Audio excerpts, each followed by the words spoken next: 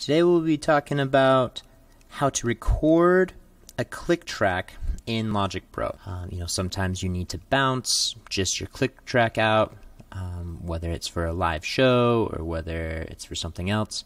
So what, how I do it is I come here to Software Instrument, drop it down, and you're going to go to Utility, and then you're going to go to the Klopfgeist, hit Create and then this will now trigger um, a metronome sound, essentially.